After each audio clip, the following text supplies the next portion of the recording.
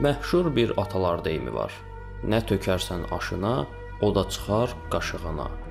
Bəli, insanlıq artıq 10 illərdir ki, qaşığına çıxacağını bilə-bilə əlindən nə keçərsə az qala qazanının içinə doldurur. Dayanmaq bilmir, bəlkə də istəmir, bəlkə də ümumiyyətlə sərf eləmir. Hamımız illərdir qarşıdan gələn fəlakət haqqında saysız-hesabsız mütəxəssislərin bağırtılarını dinləyirik. Buzların əriməsi, orta temperaturun yüksəlməsi, ozon təbəqəsinin deşilməsi kimi xəbərlər artıq bizim üçün sıradan, hətta vecsiz şəkildə kanalı çevirdiyimiz xəbərlər kimidir. Ta ki fəlakət gəlib qapımızı döyənə qədər. Bunun ən bariz təzahürlərindən biri qardaş ölkə Türkiyədə yaşanmaqdadır. Mərmərə dənizinin sahillərində sarı seliyə bənzər təbəqə yaranmağa başlayaraq düz sahilə qədər gəlib çıxıb. Həmişəki öyrəndikləri dəniz mənzərəsinin əvəzinə belə bir dəhşəti görən sakinlərdə, balıqçılarda, turistlərdə təlaşlı düşüncələr yaranmağa başlayıb. İş o yerə gəlib çıxdı ki, prezident Ərdoğan da ya həqiqətən vəziyyətin pis olduğunu nəhayət dərk edə bildiyi üçün, ya da sadəcə milləti sakitləşdirmək üçün bu vəziyyətin düzəldilməsi yolunda işlərin başlandığını çıxışında bildirdi. Bu müsilaj belasından denizlerimizi kurtaracağız. Bəs Mərmərə dənizində nə baş verir? O sarı maddə hardan və necə peyda olub? Daha ətraflı baxaq. Tarixlər 1740-cı il göstərir. Adriatik dənizinin sahillərində sarımtıl selikli təbəqə dəniz sahillərini örtməyə başlayır. İlk dəfə oxşar hadisə məhz orada qeydə alınmışdı. Adriatik dənizi də Mərmərə dənizi kimi bir iç dənizdir, yəni quru sahəsinin içərisinə daxil olur. 2007-ci ildə yenidən bu problem ortaya çıxdığı zaman Adriatik dənizi sahillərində yerləşən ölkələrin ortaq razılaşması ilə vəziyyət nəzarət altına alındı. İndi isə sıra Türkiyədədir. Mərmərə dənizi dörd bir tərəfdən qapalı olan və demək olar ki, bütün əhatəsində şəhərləşmənin və sənayeləşmənin getdiyi böyük bir su anbarını xatırladır. Mərmərə dənizinin ətrafında 25 milyon insan yaşayır və Türkiyə sənayesinin demək olar ki, yarısı bu dənizin ətrafında toplanmış vəziyyətdədir. Dənizə 10 illərdir ki, durmadan sənaye və məişət tullantıları axıdılır.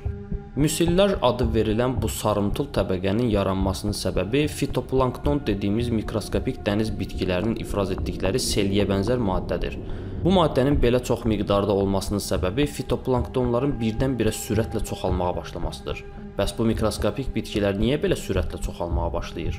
Ümumiyyətlə Mərmərə dənizində hal-hazırki vəziyyətin yaranması üçün 3 əsas ünsür olmalıdır dənizin orta temperaturunun yüksəlməsi, dəniz suyunda hərəkətliliyin az olması və suda fosfor və azotun miqdarının çoxalması. Təəssüf ki, bu üç ünsür Mərmərə dənizində bir araya gəldi. Dəniz suyunun temperaturu 40 illik orta temperaturdan 2.5 dərəcə çoxdur. Mərmərə dənizi 4 tərəfdən qapalı olduğu üçün təbiəti etibarilə orada su kütləsinin çox sürətli axımı yoxdur. Sənayeləşmə və şəhərləşmənin çox olması və tullantıların dənizə axıdılması isə fosfor və azotun miqdarının yüksəlməsinə gətirib çıxarır. Belə olan zaman suyun tərkibindəki azot və fosforla qidalanan mikroskopik bitkilər sürətlə çoxalmağa başlayaraq bu stress mühitindən qurtulmaq üçün selili maddə ifraz edirlər. Bu maddəyə isə bakteriyalar və kiçik mikroorqanizmlər yapışıb onun üzərində toplanırlar. Bu selikli maddənin miqdarı o qədər çoxalır və qatılaşır ki, dənizin üzərində santimetrlər qalınlığında sarı təbəqə yaranmağa başlayır. Bu təbəqə dəniz suyu ilə havanın əlaqəsini kəsir, suda oksigenin düzgün sirkulyasiyasını pozur, altında qalan su kütləsinin temperaturunun artmasına və suyun içindəki sərbəst oksigenin də miqdarının azalmasına səbəb olur. Bu səbəbdən suyun içərisində yaşayan canlılar oksigen çatışmazlığı yaşayaraq tələf olurlar. Bu təbəqə toplanaraq suyun üzərinə də qalxa bilər, həmçinin suyun dibinə də çökə bilər. Belə olan halda dənizin dibində yaşayan və əsasən hərəkətsiz həyat tərzi sürən canlıların, yosunların, bitkilərin üzərinə bu maddə çökərək onları məhv edir. Onların oksigen almasının qarşısını alır. Bu proses son 40 gündür ki, ciddi mənada gözə batmağa başlayıb. Ancaq onun siqnalları uzun illərdir ki, var idi. Hal-hazırda Mərmərə dənizinin demək olar ki, hər yerində 30 metr dərinliyə qədər olan hissədə fitoplanktonlar sürətlə çoxalmağa və selikli maddə ifraz etməyə davam edirlər. Odur ki, bu kadrlarda gördüyümüz hələ aysberqin görünən tərəfidir. Bu seliyə bənzər maddə üzvü maddə olduğu və toksiki xüsusiyyətlərə sahib olmadığı üçün bəlkə də dənizdən balıq ovlayıb yeyənlər zəhərlənməyəcəklər. Ancaq artan temperaturun və məhv olan o qədər canlının dənizin ekosistemini necə dəyişəcəyini təxmin etmək çox çətindir. Mərmərə dənizi ölür.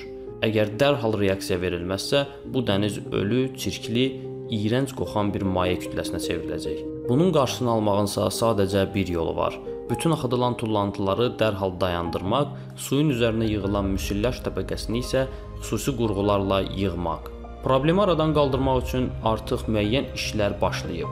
Ancaq əgər tez bir zamanda səfərbər olsaq və bütün gücümüzü ortaya qoysaq, bəlkə nəvələrimizin uşaqları bu dənizi əvvəlki vəziyyətinə qaytara biləcəklər. Yəni gördüyümüz kimi vəziyyət bu qədər ciddidir insanlıq etdiyi səhvlərin ona baha başa gələcəyini anlamalıdır. Qapısını döyməzdən və hər şey üçün gec olmazdan əvvəl anlamalıdır.